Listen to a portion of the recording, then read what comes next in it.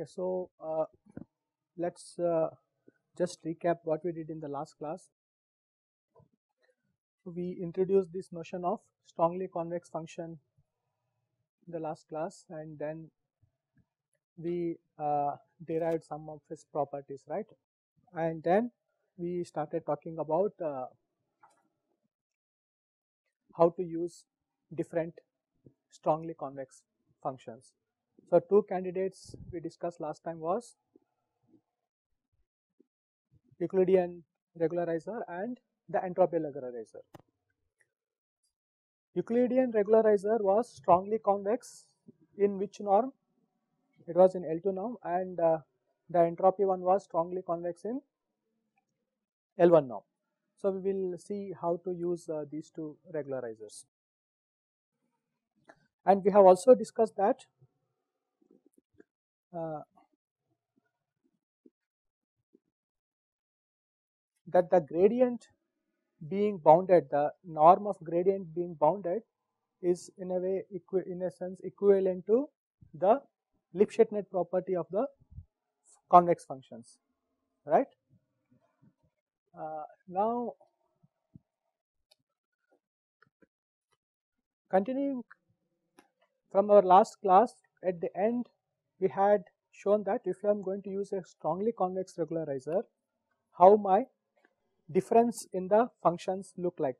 So, we are always interested in uh, the regret bounds will be of the form ft of w minus ft at w t plus 1 right something of that sort and we are interested in bounding that. So, let us rewrite that and try to complete the proof we discussed last time.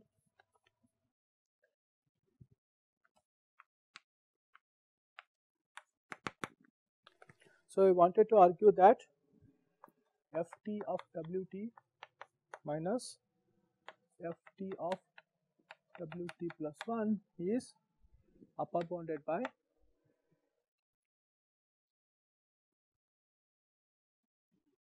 LT square by sigma. So, what is LT here?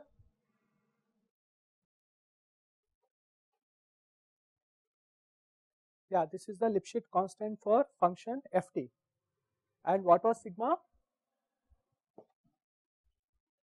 It is the regularizer parameter. It is sigma strongly convex, that sigma parameter. So, we say we are saying that now if I am going to use my follow the regularized leader, the regularizing being my sigma strongly convex function. And each of my functions ft is lifted Lipschitz constant is is Lipschitz with constant LT. Then if this WTs are cal computed based on my follow the regularized leader then we are saying that this bound holds good. Okay? So now let's see why this is so so i made a formal statement of this in the last class but i'm just i'm just stating what is that we wanted to show in that uh, claim. So now it's why this is true. Okay. So for all t let's define ft of omega to be summation of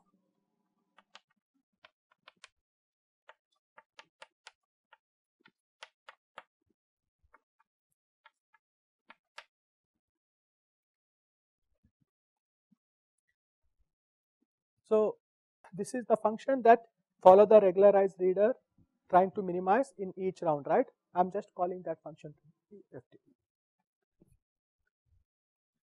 All these functions fi's are they are assumed to be convex and also Lipschitz and this Rw is assumed to be what? Strongly convex, strongly convex with parameter sigma. So, anyway Rw is anyway convex and this is all the convex. So, this, this f of ft for capital Ft is a convex function. But further we are saying that this R is sigma strongly convex. Will this make this whole function also sigma, sigma strongly convex? So, you can verify this that is indeed true like if I add two convex functions, it's going to remain convex function. But if I add a strongly convex function to another convex function, the sum becomes a strongly convex function. And it continues to, so this entire thing is going to be sigma strongly convex.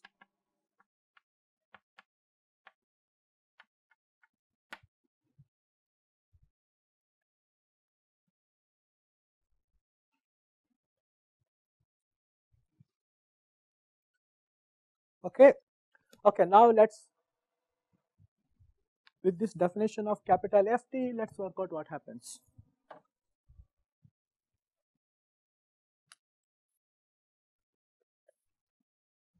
So by our rule of follow the regularized leader, what is Ft is going to be computed at this is like argmin of Ft of omega omega, right? This is how my follow the regularized leader is going to work. Now, since this guy Ft is is a sigma strongly convex function, I can write it as f of t w t plus 1 is upward bounded by f of t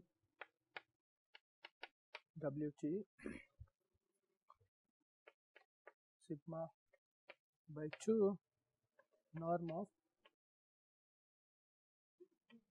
w t plus 1 whole square. So now why this result is true?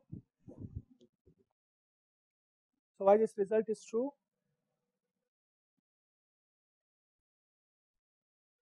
So what I'm doing here basically, yeah. So FT, WT here is what? WT is the minimizer of FTW. That is by definition, right? And now I'm applying, I know that since FT is the this convex function or here sigma strongly convex function, it need to have this lower bound, but but we had also something some some linear term here, right? What was that? That was the gradient of ft of wt and something like wt minus wt plus 1 or maybe it was uh, wt plus 1 wt okay. But now that wt is the minimizer of ftdw it was getting nullified right? So we had we had uh, given this as one of the properties of my sigma uh, uh, sigma strongly convex function. So one this is hold. So here I am fixing Wt and now this is another Wt plus 1. Okay, this is a minimizer. So if this is the case, I can also write it as now I will do the same thing at Ft plus 1.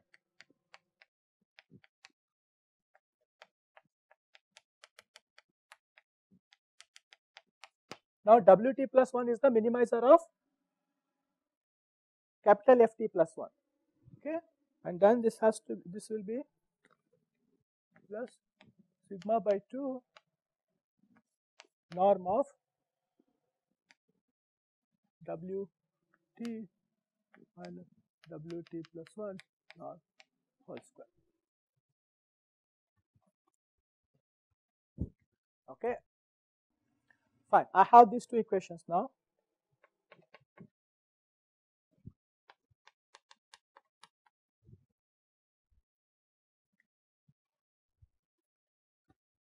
So let's add these two together. So if you add them,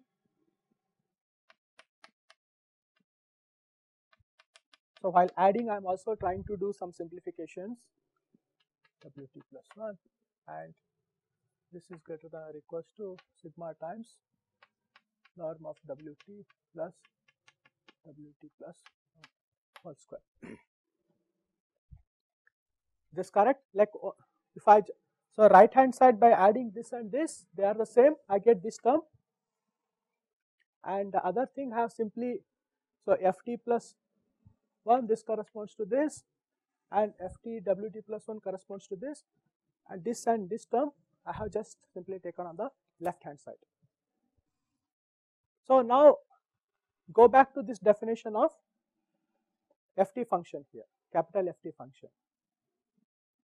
ft plus 1 involves sum till t, whereas ft involves sum till t minus 1, right? And both of them computed at the same point wt. What is this difference is going to be?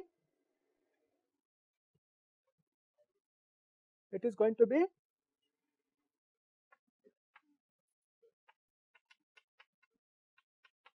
FTWT. Okay. And uh, what about this difference? This is now computed at the point Wt plus 1 for Ft plus 1 and Ft and this is going to be what minus f of t w t plus 1 and this is still sigma norm of wt minus wt plus 1 whole square right. So, this so far I only used the property of this function f and the sig sigma strong convexity of this. Now, I also want to bring in the Lipschitzness properties of my ft functions. Okay, my by the Lipschitzness property of my ft function,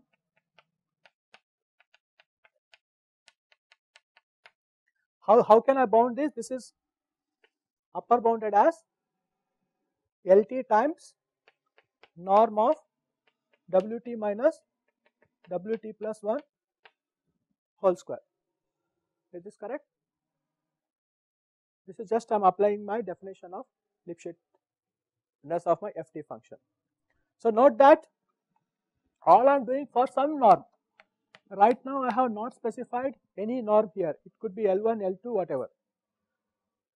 Okay. So if I am saying that my RW is strongly convex with respect to some norm, this LT that is the Lipschitzness is also with respect to the same norm. Okay.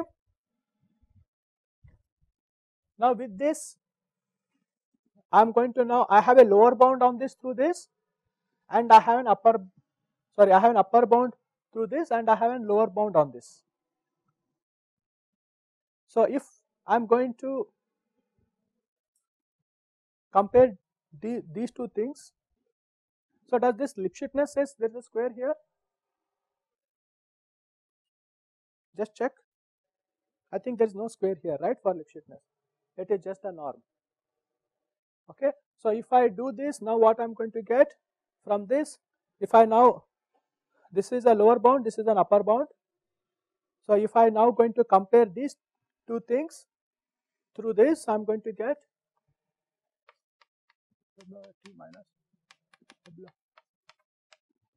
upper bounded by my LT times norm of WT plus WT plus 1 right. So, using this lower bound and upper bound I have this relation, but now just plug in this relation back here. And that is what you wanted to show. That is ft of at omega t uh, wt minus ft at omega t plus 1 that difference I have I am just use it so this will using this I have whatever I want.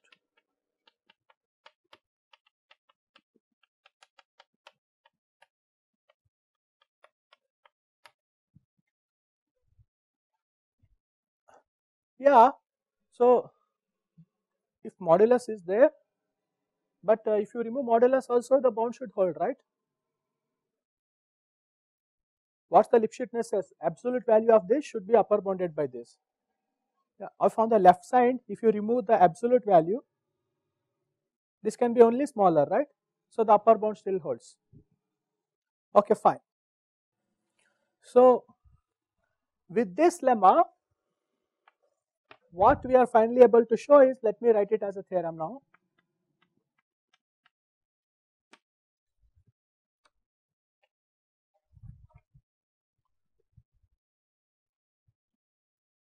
Okay, is this clear why this is true?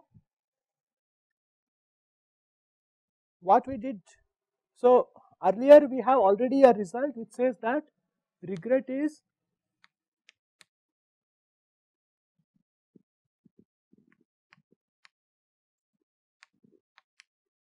is upper bounded by r of u minus r of w1 plus summation f of wt minus f of wt plus 1.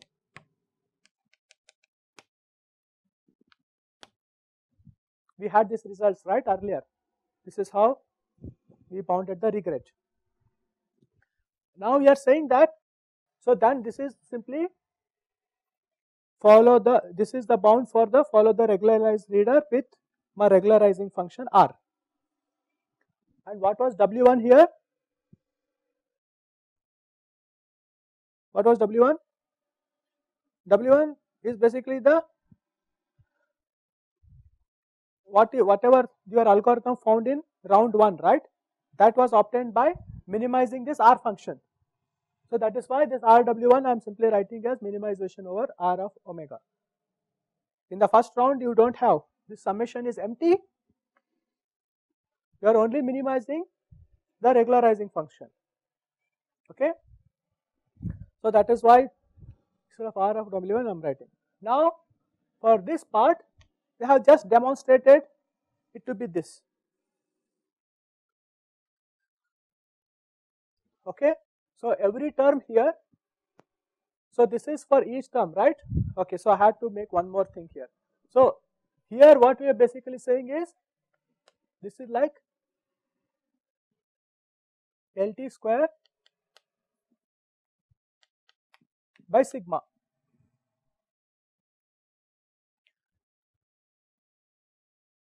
So what is now L here?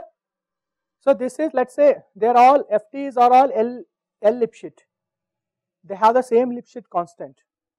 In this case, what this will turn out to be? This is going to turn out to be simply n L square by sigma, and that is what we have written here.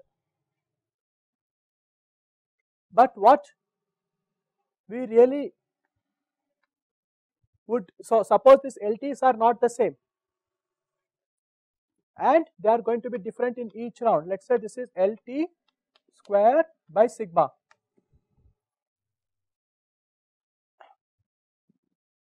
I could, I have just multiply n and n here. So here either I can assume that my Lipschitz constant L is same in for all the function, in which case LT will be replaced by L and this is simply n L square by sigma. Other possibility I can think is, okay, this is t equals to 1 to n. Instead of assuming that all the functions are the same Lipschitz constant, what I can assume is the average value of the Lipschitz constants. This is the average value of the Lipschitz constant, right? Squared average value of the squared value of the Lipschitz constant. I can say that okay, that will be some L square and in this case again I will get the same n L square sigma bond. Okay, so what we are saying is as long as all your functions are convex with the same Lipschitz constant L then this bond holds. If you are going to use some regularizer, some uh, sigma strongly convex regularizer with sigma here then this holds or let them be all ft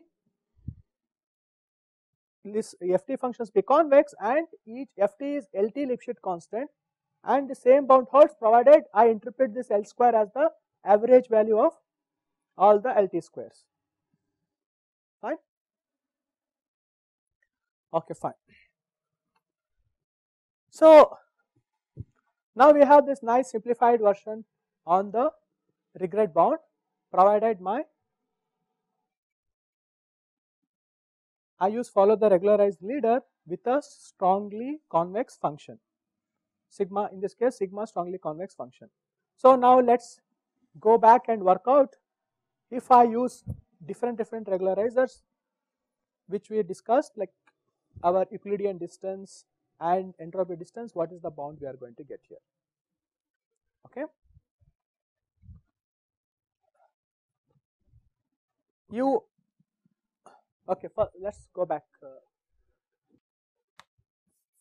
one regularizer is I'm going to take one to be so let me call it R is R of u is 1 by 2 eta is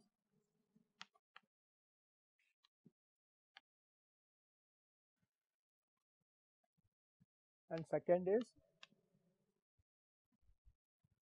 R of u is we said summation ui log ui. Let us say you are in some d dimensional space.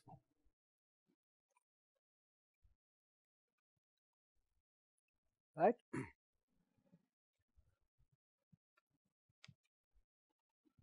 So, this guy is, is it a strongly convex function?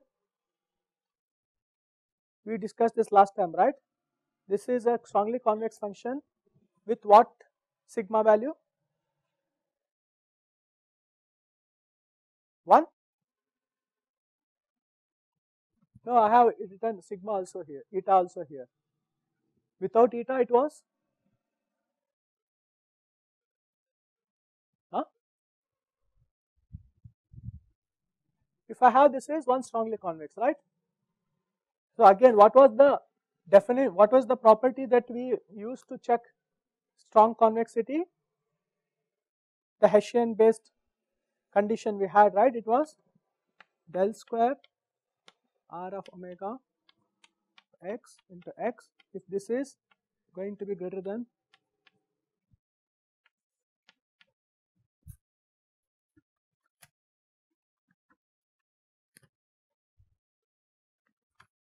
point to square. So with respect to this norm, then this guy, this this function r is a sigma strongly convex function. Now can you check me? Now I am already norm has been defined for you to be L2 norm. So what is this? So if you take this function and try to compute this condition for what sigma it holds? 1 by eta. So let us say this is then 1 by eta strongly convex. And with respect to what norm? It is true with L2 norm. And what about this? So for this, we made some more assumption, right? These UIs are, so each of this UI we also defined, so this is true for any U. This Euclidean space, this Euclidean distance uh, this Euclidean regularizer was defined for all u.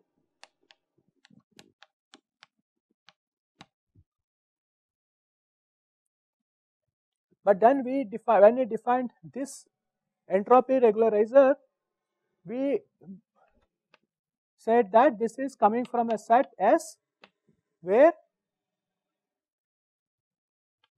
all my W, all my components are positive and also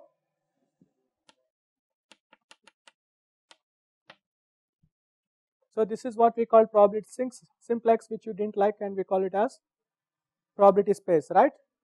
We all this u as that is coming from this space. Now this function is it again uh, strongly convex? And now see, when we said this thing, right, this was nothing but L1 norm. Okay. So, I do not know we computed this last time or not, you can verify that this one,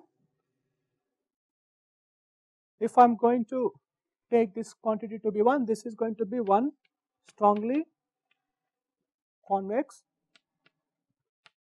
with respect to L1 norm.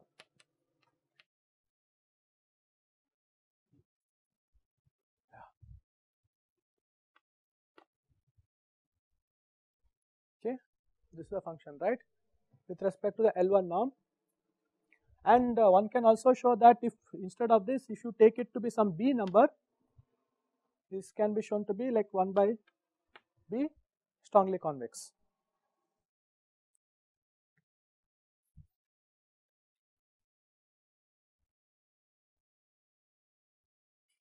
or like not exactly you can take it to be less than or equals to V1 okay?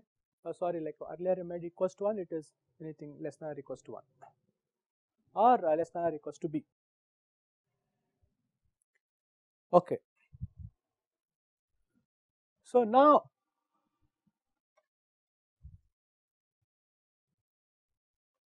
what is going to be this bound look like if I am going to apply these regularizers. Okay. So, can you now compute if I take my Euclidean regularizer can can you come to work out what is this going to be?